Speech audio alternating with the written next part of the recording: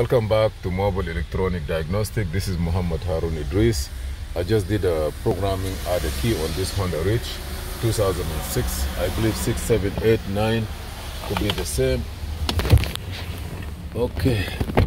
Man, uh, meanwhile, I say, you know what, let me check and give you uh, a little bit of information how we can change the cabin filter. If you want to change the cabin filter on this car, you're just going to push this, you see, this, this here, uh, put a screwdriver and it will come out.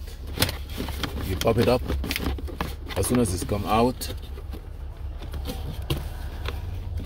but I was managing to pull it out. But take this one out, turn it, this one can come out. This is a bracket that's holding the glove compartment down and then you come in here you see there this one here i'm just doing it for this car but it could be um, all honda uh, most of the time 95 percent of the honda the cabin filter is sitting in this uh, area.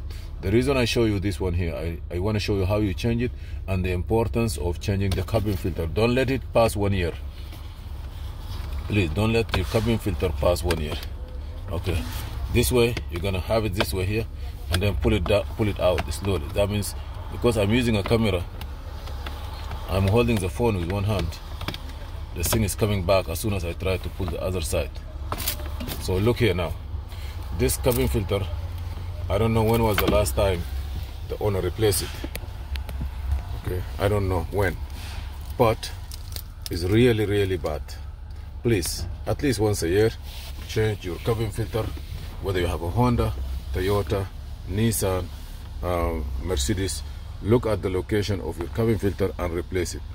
I don't know what is there, and I don't know what's gonna go through here to your lungs uh, in the day uh, while you're driving your car. You're putting AC, or you're putting um, air condition while you're driving.